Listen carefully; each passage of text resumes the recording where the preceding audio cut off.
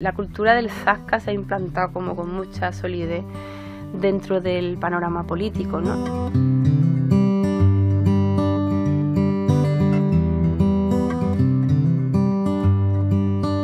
Ojalá transitáramos un tipo de cultura política donde eh, nos pareciéramos más, seguramente alguno de los oyentes o, tú mismo, Aymar, hayáis visto Borgen, ¿no? Que es esa política danesa, ¿no? Donde importa mucho el qué y no tanto el cómo, donde las salidas de tono pues, no son lo habitual, donde la colaboración o la búsqueda de encuentros se valora mucho, pues madurar hacia ese modelo, no tanto como el de House of Cards, ¿no? que sería el modelo contrario, ¿no? el de los Estados Unidos y la espectacularidad de la política y de la comunicación política, pues sería un salto de madurez también. ¿no?